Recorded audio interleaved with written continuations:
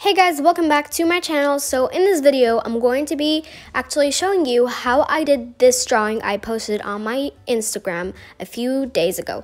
So basically, I did a reel on that, but you guys wanted a detailed one, so I decided to make a YouTube video to show you all the details on how I did everything in a very slow and detailed way.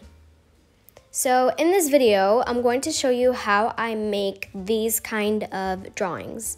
I did this drawing and then this drawing, I'm going to do it in this video. So I hope you like it. And I also did this draw um, rainbow drawing.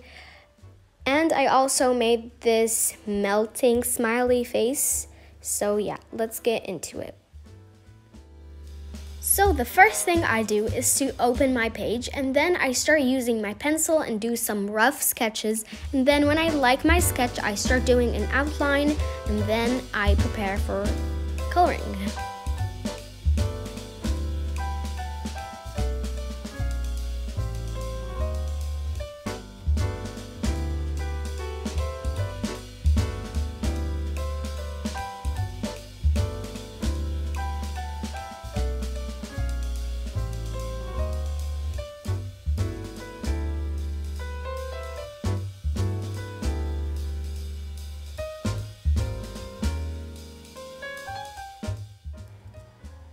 When I make sure I like my shape, I start using my kneaded eraser and then roughly erasing everything, but making sure that I can still see through the lines.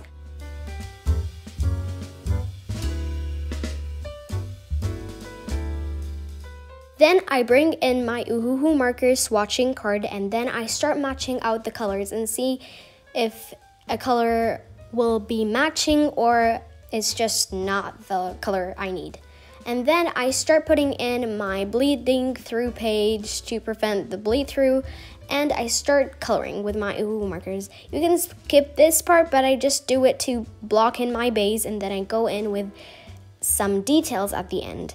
But if you don't have Ohuhu markers, you can just use pencil colors or any kind of markers you have at home and then start outlining with my pen.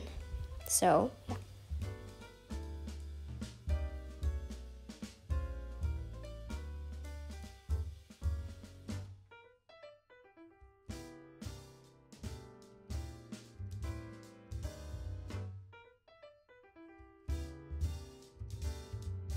When I'm finished with outlining, I bring in darker shades of the colors I use and start doing some shading.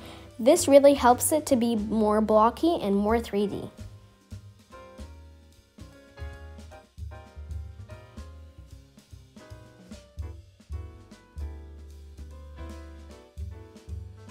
And that's basically it. So thank you so much for watching this video. And if you enjoy it, please smash that like button and make sure to share it with your friends.